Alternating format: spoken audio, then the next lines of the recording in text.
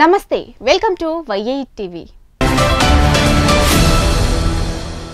లవర్స్ని ప్రేమ పక్షులు అంటారన్నది మనకు తెలిసిన విషయమే. అయితే మనుషుల కంటే పక్షుల్లో ప్రేమ అనేది ఎక్కువగా ఎంతో స్వచ్ఛంగా ఉంటుందట. అందుకే లవర్స్ని ప్రేమ పక్షులు అంటారు. అయితే వ్యాలంటైన్ డే సందర్భంగా ఆ పక్షుల్లోని లవ్ బర్డ్స్ గురించి ఒకసారి తెలుసుకుందాం. అత్యంత ప్రాచుర్యం పొందిన అందమైన తెలివైన చిలుక జాతికి చెందిన పక్షులే ఈ లవ్ బర్డ్స్. ఈ చిన్న పక్షులు వంద సంవత్సరాలకు పైగా ఆఫ్రికన్ చిలుకలలో అత్యంత ప్రియమైన రకాల్లో ఒకటి.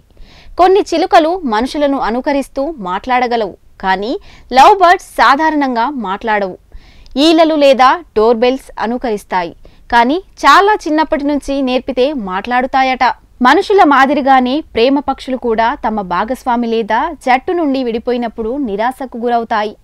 ఒంటరిగా ఉండటం ఇష్టం ఉండదు దీంతో దిగులుతో ఆహారం మానేసి చివరకు చనిపోవచ్చు కూడా. లవ్ బర్డ్స్లో ఆడ మగ తేడను సులభంగా గుర్తించవచ్చు. సాధారణంగా మగవి ఆడవాటి కంటే పెద్దవిగా ఉంటాయి. నల్లటి రెక్కలున్న మగ ప్రేమ పక్షికి ఎర్రటి ఈకల కిరీటం ఉంటుంది. అంతేకాదు మేటింగ్ సమయంలో లవ్ బర్డ్స్ హార్మోన్ల మార్పులకు లోనవుతాయి. దీంతో వాటిలో జలసి దూకుడు బాగా పెరుగుతాయట.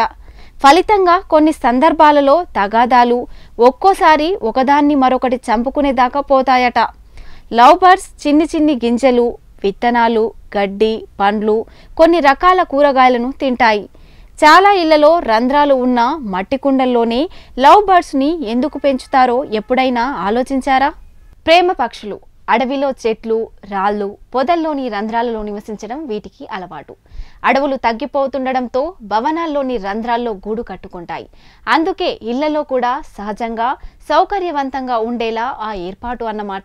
ఇది ఇవాళ ప్రత్యేక కార్యక్రమం. మరొక కార్యక్రమంతో మళ్ళీ మీ ముందుకు రానుంది వైఐ టీవీ.